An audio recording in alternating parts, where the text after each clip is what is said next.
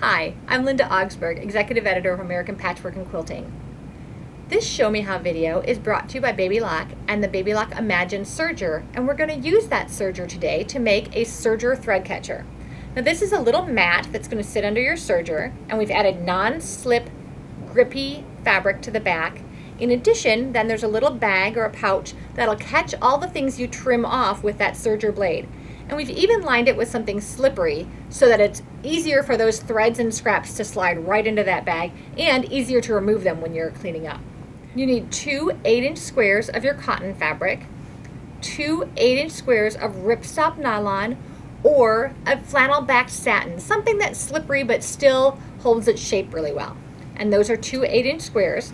In addition of the nylon or the satin, you'll cut a 5-inch by 3-inch rectangle and that's going to be your connector.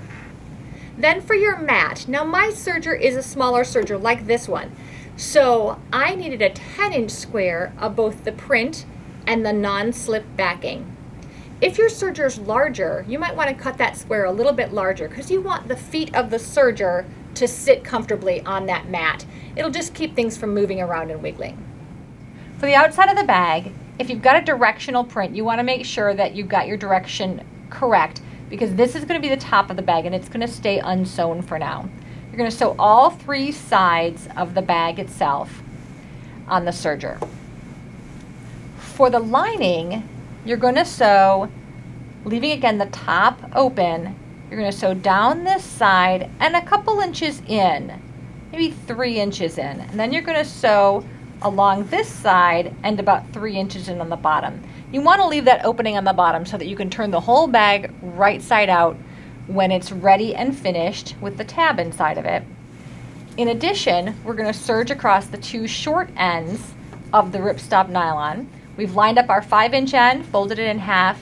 If you had a flannel back satin or something like that, you'd want to make sure that this was also right sides together. For the bag itself, in these steps, all your fabrics will be right side together. So I'm just going to serge across the short end. I want to make sure that I'm lined up in a way that I'm not trimming off any of the fabric. And then I'm going to turn it right side out.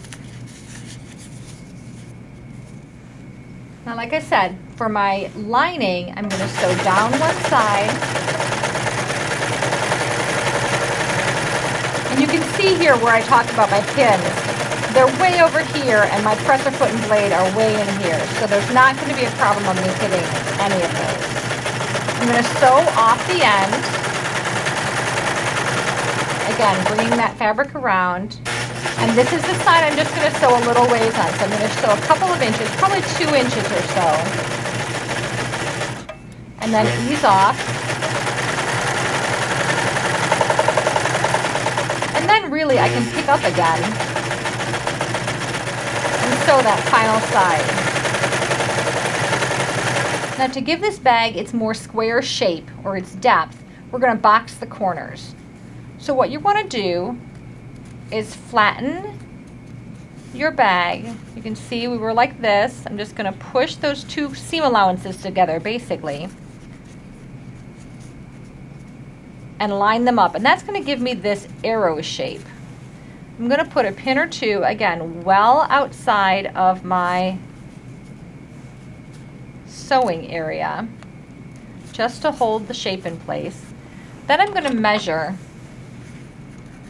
an inch and a half down from my corner and make a mark. And then I'm going to make a line. So let's box that corner. Now that I know where my center point is, when I come in here to the machine, there are two little marks on my presser foot. And you can see they line up with the needles. The left needle is over here and the right needle is over here. I want to make sure that wherever I'm going to try and have that seam is lined up with my left needle mark. So in this case, I'm going to trim this off. My blade's right over here. I'm just going to line up and I know again, this is my one and a half inch. So I'm just gonna flip that through, serge that edge, and you've got a boxed corner. Now you can see when I turn that right side out what that looks like. So it's going to be a nice, give me some depth in that bag. I'm going to do the same thing as I said on the other corner of the lining and I'm going to do the same thing on the two corners of my cotton fabric as well. To construct the bag, I've folded this piece in half, made a little crease there.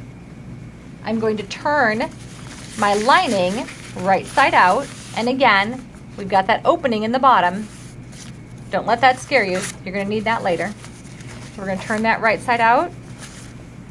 And then we're going to leave the bag wrong side out. And now I'm going to make sure I know where the center of one side is. So I'm just going to make a little fold there as well. I'm going to slip the lining inside the bag. Then when I go to my fold in the back, you can see these two layers. I'm going to slip that tab in between, lining up my two folds, and then bringing that lining fabric in.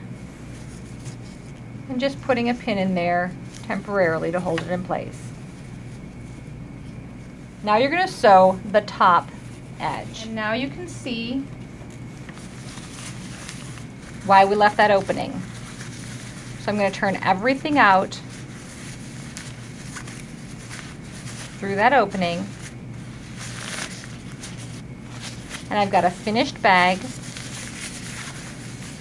with the tab in the back and that'll be ready to insert into the mat. For the mat, you're going to place your non-skid fabric and your print fabric right sides together and you're going to sew on three sides being sure to start and finish on that fourth side. So you're going to sew this corner up and around and then come back and finish this corner. Your opening for turning is going to be right here. And when you turn it right side out, so there's our opening for turning. I'm just going to slip that little tab from the bag inside.